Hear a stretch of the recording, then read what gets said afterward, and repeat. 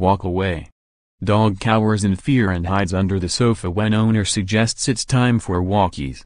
Most dogs excitedly jump at their owners, tails wagging and tongues out and bark excitedly when they hear the word walkies. But adorable footage show the very unusual dog who feels quite the opposite and cowers under the sofa when he hears his owner say the fatal word. This cute dog, Frankie, reacts to the word by running towards the sofa and timidly hiding under it. In the video, taken on June 11 in Whitehall, central London, owner Dawn Kelly says, Frankie, walkies. She holds up a red harness and lead which strikes fear in the pup.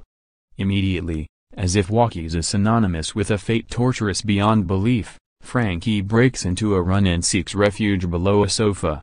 Dawn then pans the camera down to the floor and shows the black and white pooch showing off his best puppy dog eyes.